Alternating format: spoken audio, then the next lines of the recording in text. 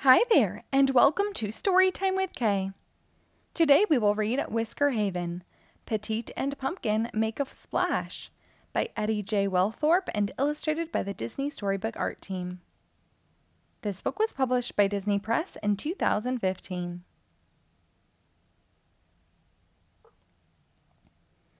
It's a wonderfully sunny day in Whisker Haven. Pumpkin is going to make the most of it. She's all set to go for a swim and would love nothing more than to have her good friend Petite come along.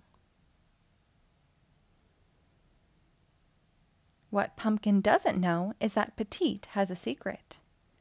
She's always been just a little bit scared of the water. Well, maybe more than just a little bit. Maybe really scared. Really, really scared. Petite thinks it might be a good idea to find another pet to take her place. Or maybe they can all play together in a different way. Petite finds Dreamy, who's found a sunny spot in the garden for a cat nap. Can we play when I wake up from my beauty sleep? Dreamy asks. Okay, Petite replies, and she heads off in search of another friend. Petite makes her way to the kitchen, where she finds Berry baking pies. The bunny is happy to have a quick romp through the kitchen before moving on to her next batch. Giddy up! She cheers with a giggle. But I can only play for a little while. I'd hate for my blueberry pie to burn.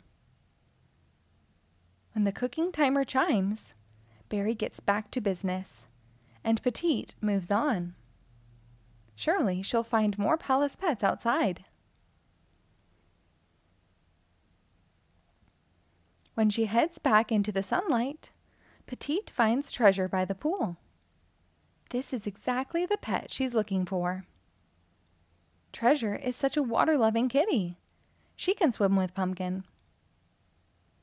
But Treasure wants Petite to join too. You have to give the pool a try.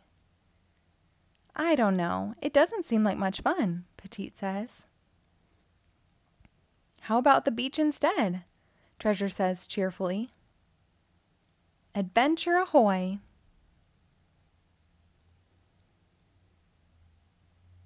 Before Petite can stop her, Treasure is out to sea. Petite digs her hooves in the sand. I'm sorry, Treasure, I'm just too scared. What if it's too deep? Petite asks. Come on, Petite, Treasure cheers. The water is perfect. What if I get water in my mouth, or in my eyes, or in my nose? All you have to do is move your legs and keep your head up, Treasure says. You can do it, Petite. Petite gets close, then a little closer, then so close. I'm sorry, Treasure, I can't, Petite says. Petite needs to take a break. She heads back to her library to sit and read. She looks through every book about water that she can find. She reads about swimming and diving and wading and floating and paddling and snorkeling and boating and canoeing and rafting and surfing. After learning a lot, she sits and thinks. And then she thinks some more.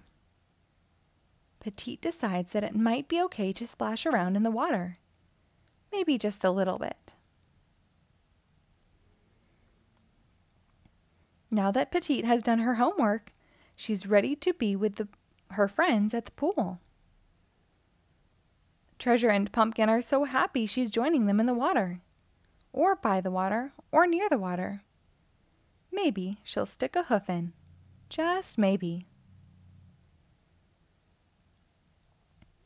The end. Thank you for reading along. Be sure to rate and follow us for new episodes posted daily.